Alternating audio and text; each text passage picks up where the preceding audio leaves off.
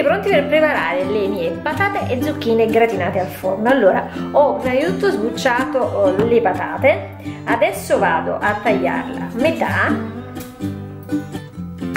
vado a tagliarle in questo modo, vedete? E da qui vado a tagliare dei bastoncini. Come questi bastoncini sono un po' lunghi, vado a dividerli ancora a metà.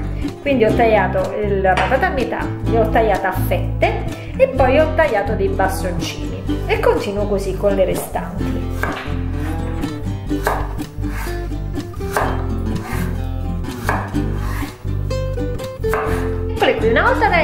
tutte le patate le ho messe in acqua fredda adesso le lascerò così in acqua fredda per circa mezz'ora un'ora dipende dal tempo che avete in modo tale che perdono parte del loro amido.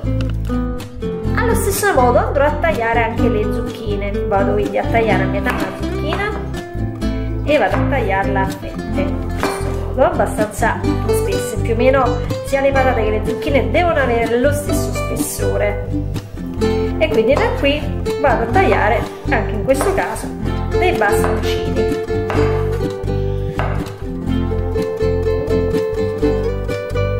Qui dopo mezz'ora ho eliminato l'acqua e ho asciugato bene le patate. Ora le patate vado ad aggiungere le zucchine che ho tagliato allo stesso modo nella, nella... a questo punto vado a condire con olio extravergine d'oliva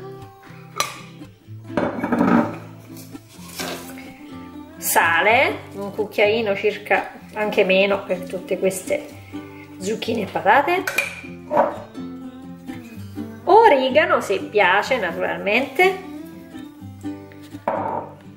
Mix di spezie io sto usando questo che contiene uh, rosmarino da dragoncello e timo.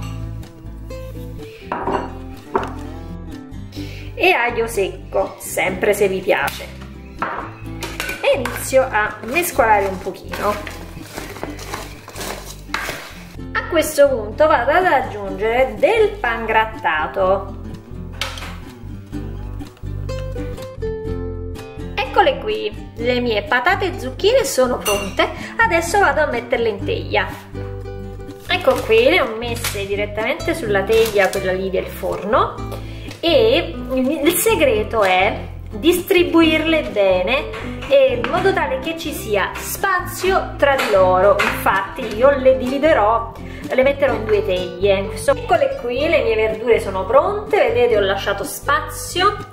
Ora vado a metterci su un altro pochino di pan grattato ma pochissimo.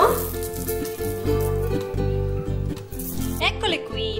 Le mie patate e zucchine sono pronte per essere infornate le infornerò in forno ben caldo a 210 gradi, 220 gradi, regolatevi in base sempre ai vostri forni per 25-30 minuti, ma come vi dico sempre regolatevi in base al vostro forno. Forno ventilato.